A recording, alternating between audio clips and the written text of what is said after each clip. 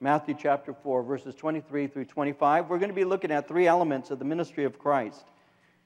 And uh, we'll see that disclosed to us as we begin our, our reading here in Matthew chapter 4, beginning at verse 23, reading to verse 25. Matthew writes Now Jesus went about all Galilee, teaching in their synagogues, preaching the gospel of the kingdom, and healing all kinds of sickness and all kinds of disease among the people. Then his fame went throughout all Syria and they brought to him all sick people who were afflicted with various diseases and torments, and those who were demon possessed, epileptics, paralytics, and he healed them. And great multitudes followed him from Galilee, from Decapolis, Jerusalem, Judea, and beyond the Jordan. So, in the previous verses leading up to verse 23, uh, Jesus had just called four of his disciples into full time service. And as we saw, he called Simon Peter, and he called his brother Andrew, he called James, and he called John. And all four of these men were fishermen. And according to Luke chapter 5, verse 10, they were business partners. Now, as we were looking at this together, when Jesus called them, he used an image that would be understandable to them. Jesus would use illustrations as he taught that would make a connection with the life of the people. And so Jesus here uses an image that would be understandable to these men. And so he told them they are going to become fishers of men. In other words, you're going to begin to cast out your net, but the net will be the gospel. And you're going to cast out the net of the gospel into the sea of humanity. And so he was calling them to become fishers of men. As he called James and his brother John, they were busy, according to verse 21, mending their nets.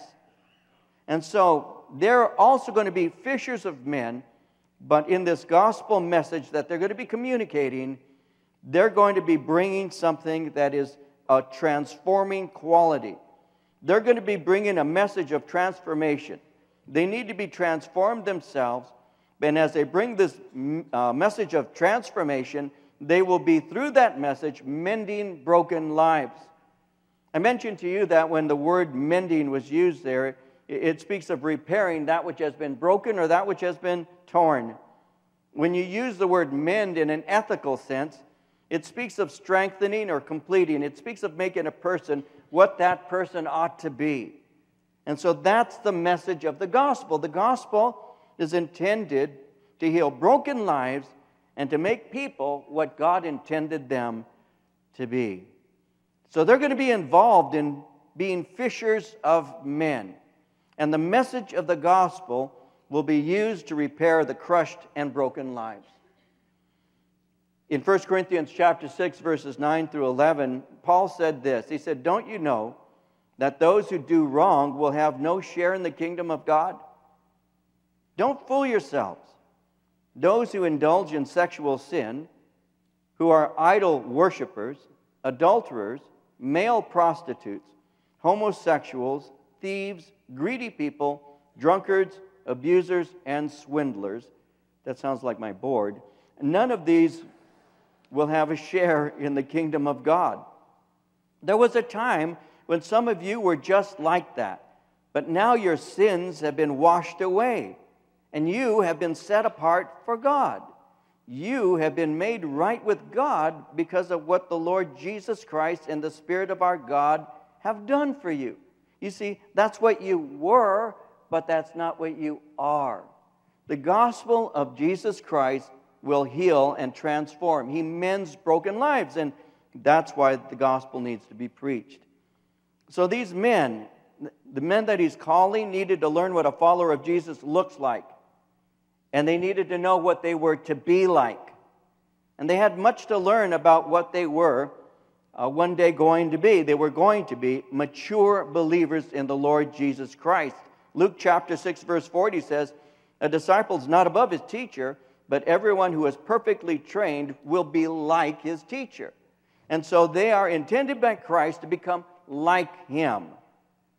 Now, as we're looking at this, I mentioned this to you. These men were in large part ordinary people. They had natural skills, they had natural jobs, regular jobs, but in a large part, they were not necessarily ministerial kinds of people. They more than likely had a very basic educational experience, and they had some rudimentary uh, teachings concerning uh, the Word of God, but they were not necessarily the most outstanding people. And so, when you begin to examine their lives, even after Christ called them, it gives you hope because when you look at some of the things they do through the Gospels that are recorded for us to read and learn from, it encourages me.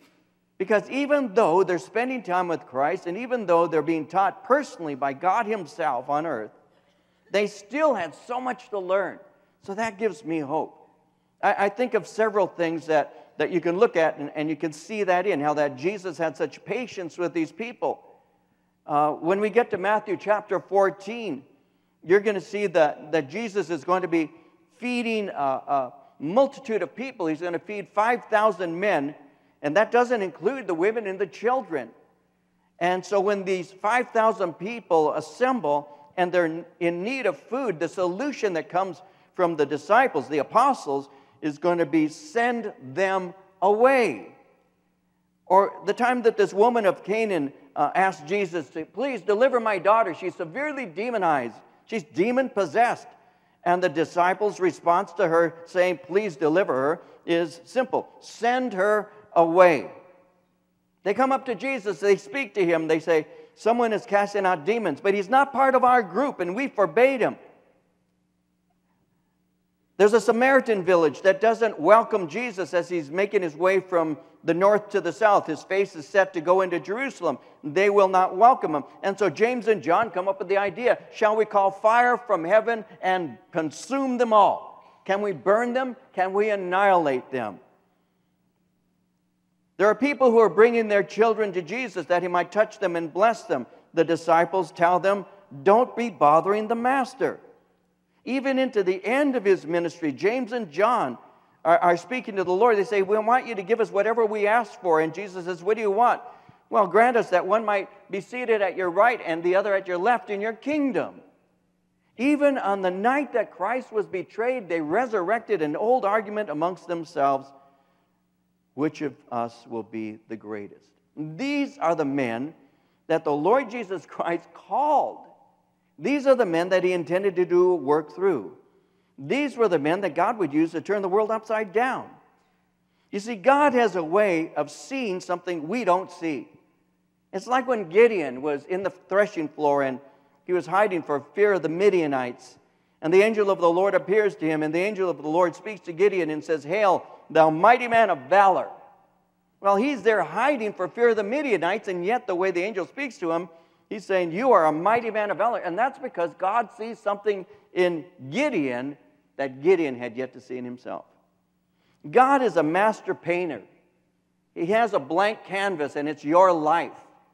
And He knows what He can make you into. He knows what He can do with you if you yield yourself to Him. And these four fishermen didn't have a clue what God wanted to do, and these men took a long time to learn. Jesus walked with them for over three years. And even to the end, they still had so many lessons to learn. But that gives to me so much hope. He was going to fashion them into fishers of men, and then he was going to send them out to mend broken lives. And as he was calling them, they immediately responded. They left everything behind and they followed him. And so now they're going to learn ministry from the Lord.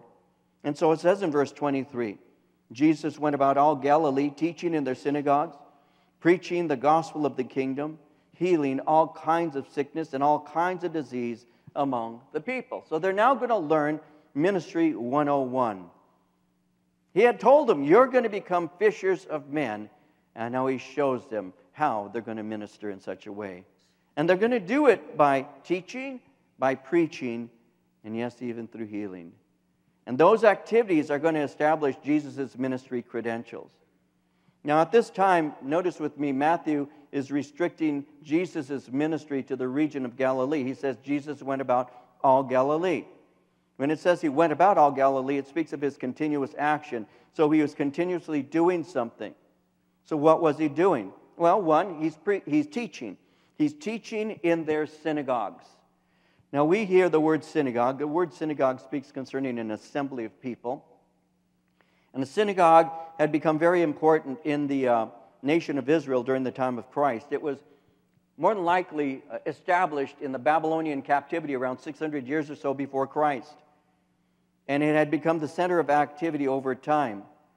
Uh, the temple remained the center of Jewish life, but there were many Jews who lived hundreds, even thousands of miles away from the temple. And so synagogue became a place of worship. It became a place of study. It became a, a place of the community fellowship. It even became a legal court. The synagogue was very important because it was the, the center of daily religious activities, and, and they would gather in synagogue every, every Sabbath. And while they were there in synagogue, sections of the law and prophets would be read, various prayers, songs, responses would occur. The scripture would be expounded, sometimes by a visiting rabbi or a dignitary. It, it served as a public school for boys. They studied something that was called the Talmud, which is the oral tradition of the law of Moses, as well as writing and reading, and they learned arithmetic there. For men, it became the center of advanced theological training. When you went to synagogue, they had a certain style of teaching. Let me talk to you about it for a moment because it's important. Because as it says here in verse 23, Jesus went about all Galilee teaching in their synagogues. We have to ask ourselves, what did he teach about? how did Jesus go about teaching? What was it? What kind of methodology? What was the manner that Jesus taught? If you were to go into a synagogue and Jesus was there, was there teaching, how would he be teaching? Well, during that time, people were taught in what was called expository fashion, which is the explanatory uh, fashion of teaching. And this teaching was intended to be appealing to the intellect, and so they would communicate information about God. They were taught Scripture. And in the expository fashion, you are taught Scripture verse by verse. And the reason you were taught Scripture verse by verse is so that you could get an entire view of Scripture. There, today, there are many who say they teach the Bible. What they're teaching is out of the Bible. But it's not necessarily true that they're teaching the Bible because if you're teaching the Bible, what you're doing is you're starting at the point, we'll say Matthew, at verse 1, and you go all the way to chapter 28 and you're teaching through it. That's called expositional or explanatory teaching. That is the methodology Christ used. He would use the explanatory way because that was the way you would be taught in synagogue. It was adopted by the church. In Acts chapter 20, verse 27, when Paul was speaking on one occasion to the elders of Ephesus, he said, I have not shunned to declare unto you all the counsel of God. I've taught you from the Alpha to the Omega, from the beginning to the end, from the A to the Z. I've taught you all the counsel of God systematically, expositionally. And that's what they do. They would teach the Word of God in that fashion. That's how Jesus taught. Now, the Greeks, on the other hand, had an approach to teaching that actually welcomed discussion and even argument. The Greeks had this attitude that we may know something now, but something greater may be revealed later on. And so their teaching did not have the air of authority. They would just speak from what they thought or believed at that moment because perhaps there's a new thing that we can learn from. In Acts chapter 17, you see an example of that when Paul was in the city of Athens. They were there, the, Paul was there, his, his heart was grieved by the, the, the fact that the city was given completely over to idolatry, and he began to share concerning Jesus and he began to share concerning his resurrection. And there were people there who were listening to him. And there were Greeks, and they wanted him to go up into Mars Hill and to expound to them what he was sharing below. And Luke tells us in Acts 17 21, all the Athenians and the foreigners who were there spent their time in nothing else but either to tell or to hear some new thing. And that's how the Greeks were. What is the current thought? What is the latest thing that we can embrace? Many Americans, in general, have what would be called a Greek mentality when it comes to teaching. They think that their opinions and novel ideas are equal to what the Word of God declares. All you need to do to prove that point is go to a philosophy class in any junior college or college and sit there for the first few classes and watch how the students who think themselves to be philosophers already, untrained and, and not thinkers, but they think themselves to be philosophers already, and they will debate with the teacher. I've been in philosophy classes, I've seen that happen, where they, with no experience whatsoever, are willing to argue their point and their opinion as if their point and opinion is as qualified as a professor with a PhD. And that is an absolute truth. And Americans are very prone to that. And so if they hear something, even if it's declared from the Word of God, many Americans will argue with that because they think their opinions are equal to God's Word.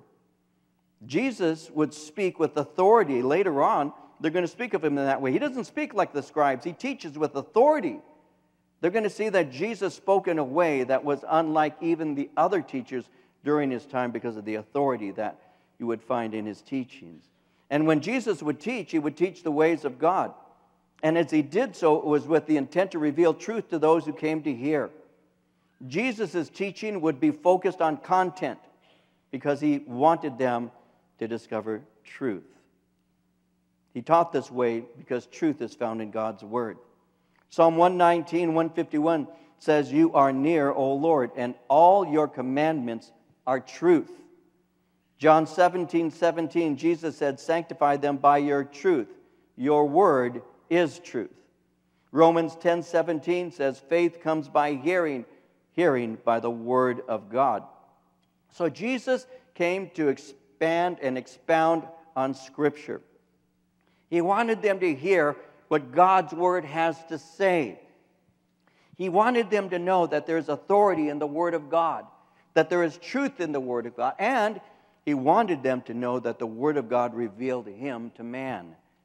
In John 5:39, Jesus said it like this: "You search the scriptures because you believe they give you eternal life, but the scriptures point to me."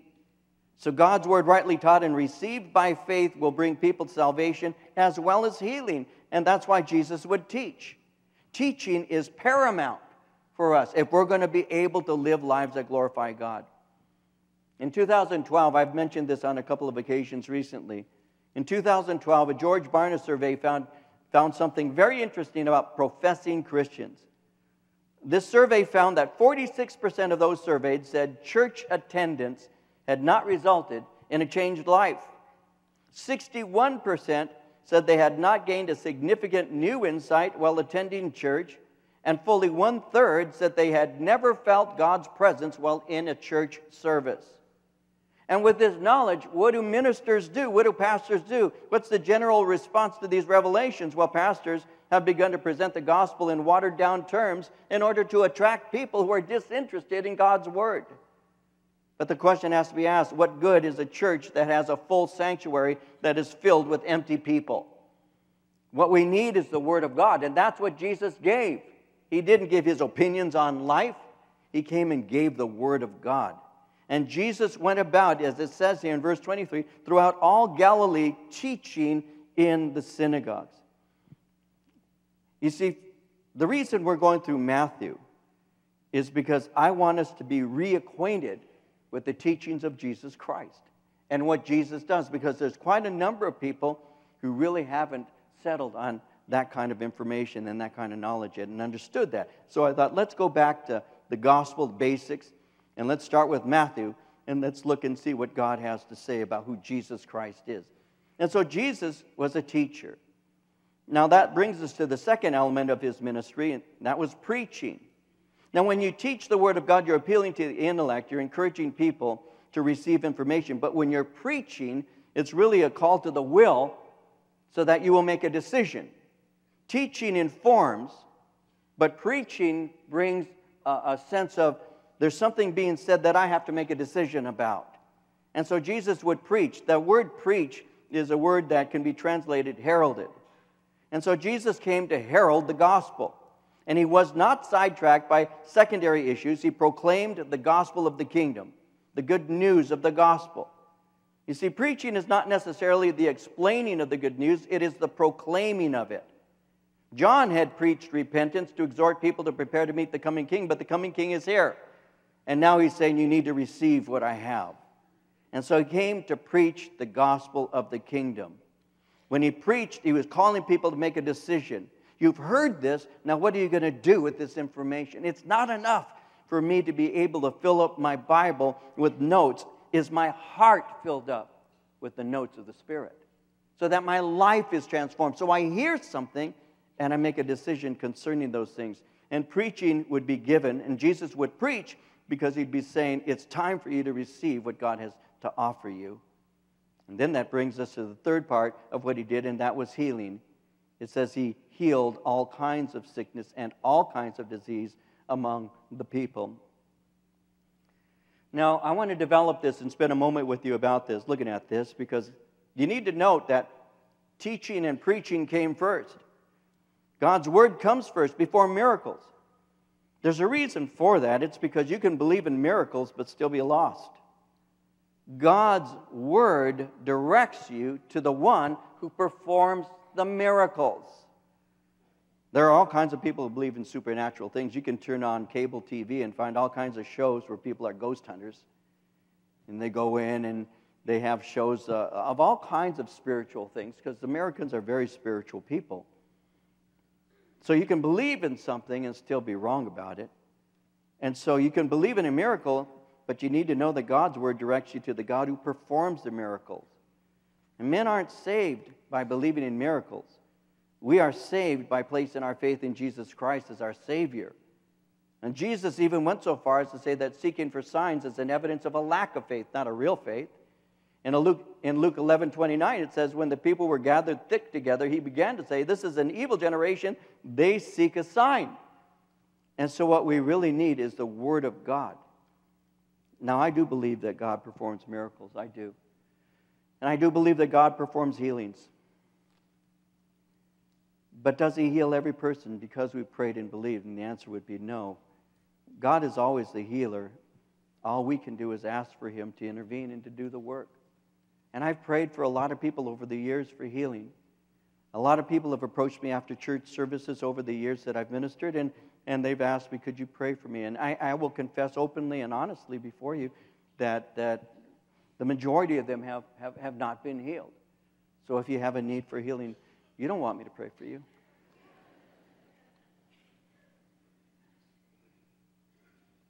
I was sitting in that dental chair the other day. Oh God, in Jesus' name. He, no, He didn't heal me. I prayed for my mom to be healed for years. My mom first got ill when I was about five years old or so, 1955. My mom was ill from 1955 until she died a year and a half ago. My mom was ill, and I prayed for her over and over again, many times, for many years. Mama wasn't healed. But does that mean we should not pray? No, we do pray because God does heal. And there are times in His sovereign will He chooses to do so. A few months ago now, I was in my office. It's a work day. I got a phone call. There are a couple of people here who'd like to see you uh, Can you come out for a moment? And I said, well, Of course. Um, and I came out of my office and I went up to the front. And there were two ladies waiting there. One of them I've known for 25 years or so. And she was with her mama.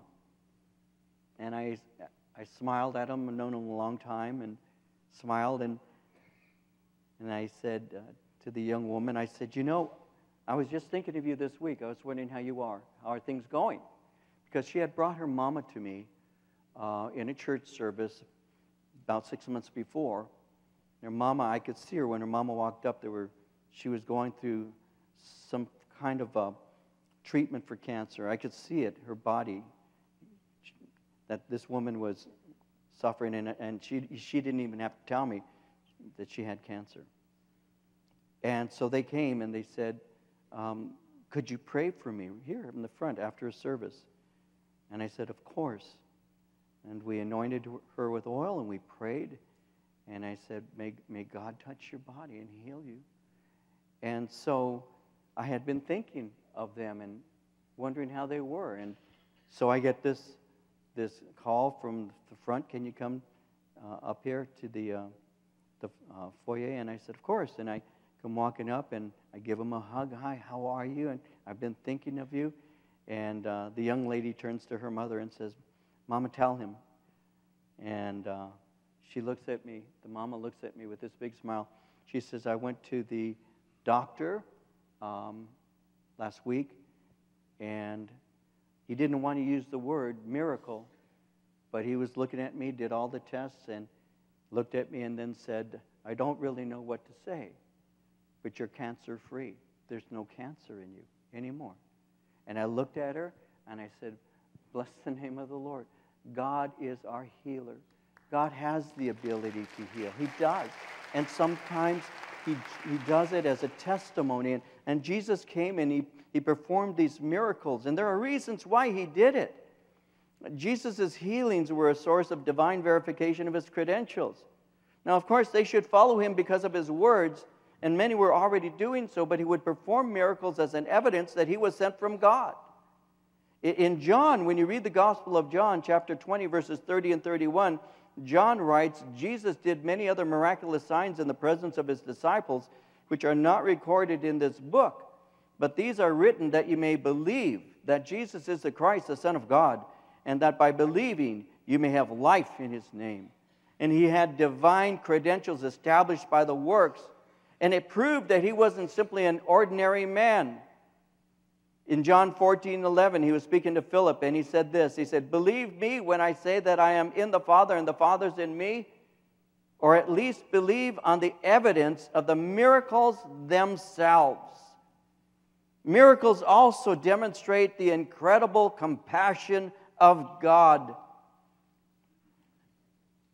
Always know this. The God that we worship is a compassionate, merciful God.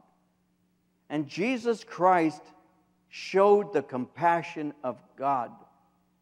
To, compa- to have compassion is to suffer alongside of somebody, to share their pain with them. And that's what Jesus would do. He had this and has this incredible compassion. And when he would see the need, God's compassion would be revealed. There are people who don't understand a God of compassion. They don't worship a God of compassion. That's why they can go into various places and, and kill people in the name of their God. The God they worship, quote unquote God that they worship, has no compassion. Though they speak of him as being merciful, they show no mercy. But the mercy that we have from our God motivated our God to take upon himself human flesh.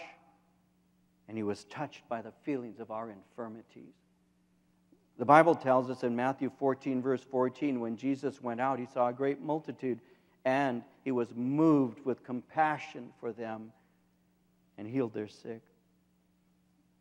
If you're going to be used by the Lord, here's a very practical thing it's very practical. If you want to be used by the Lord, pray daily, fervently.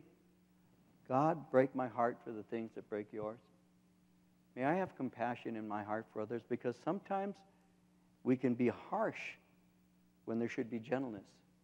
God, help me to have compassion. Help me to love. Help me to care.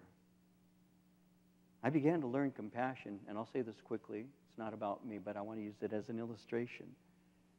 I began to learn compassion from my wife because I don't naturally have it. I've been praying for compassion for many years.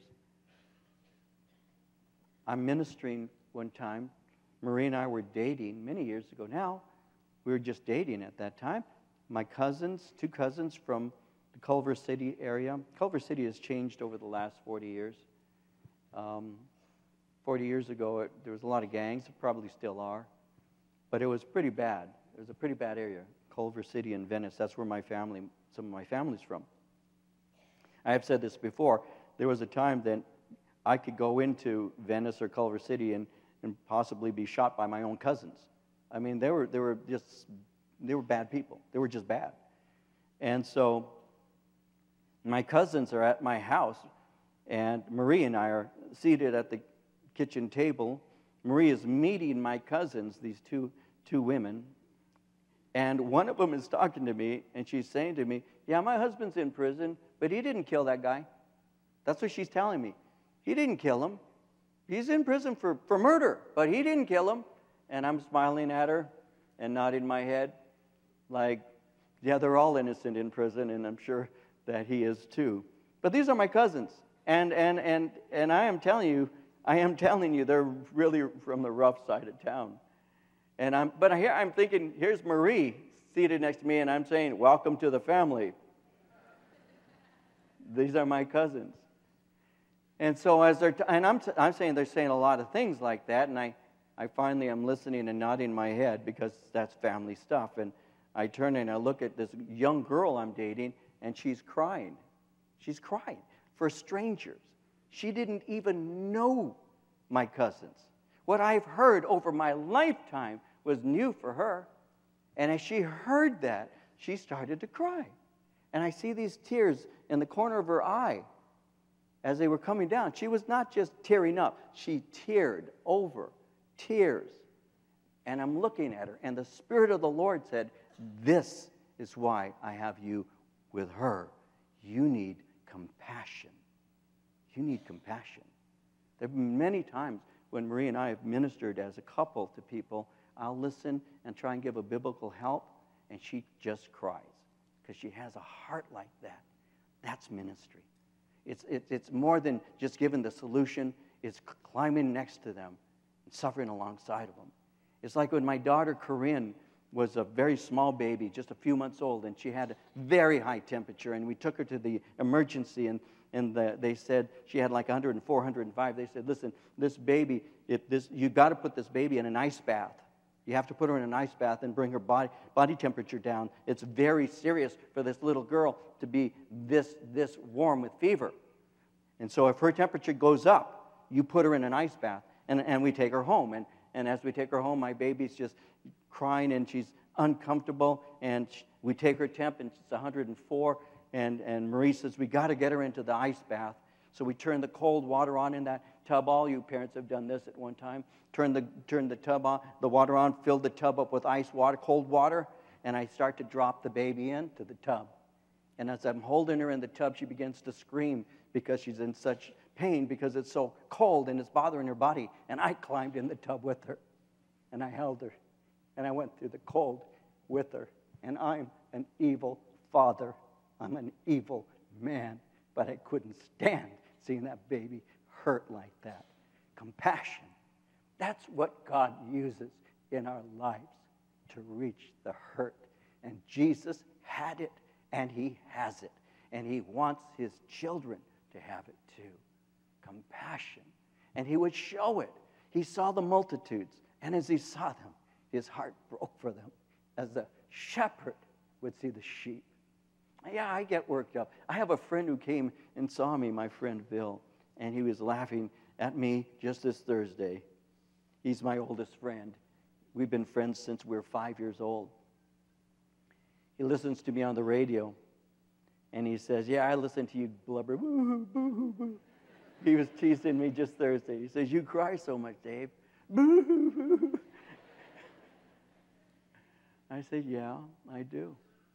I said, That's the truth. I said, But the fact is, that's who I am. I feel those things deeply, and I share them from my heart because that's what God wants for his body, for Christ's body to have compassion. Jesus had it, and I have been praying for years that God would break my heart. And finally, the miracles demonstrated the nearness of the kingdom of God because in heaven, there is no sickness and there is no suffering. In Revelation 21, verses 2 through 4, uh, it reads I, John, saw the holy city, New Jerusalem, coming down out of heaven from God, prepared as a bride adorned for her husband. And I heard a loud voice from heaven saying, Behold, the tabernacle of God is with men, and he will dwell with them, and they shall be his people. God himself will be with them and be their God. God will wipe away every tear from their eyes. There shall be no more death, nor sorrow, nor crying. There shall be no more pain, for the former things have passed away. In the kingdom of God, there is no pain, there is no illness, there is no sickness, there's only joy. And when Jesus came, he was saying, This is a, a prelude to, a foretaste of the kingdom. And he came and he healed because there is no sickness in the kingdom of God. The result? Multitudes, verse 25, followed him from Galilee, from Decapolis, which is just east of the Jordan. There are 10 cities Jerusalem, Judea, and beyond the Jordan. He healed whatever affliction he encountered, he ministered because he loved them. It's been said this world is the land of the dying, but the next is the land of the living. And Jesus came to bring life. So he was teaching his men you need to teach, you need to preach, I'll go with you as you heal so that these people may know the kingdom of God is with them.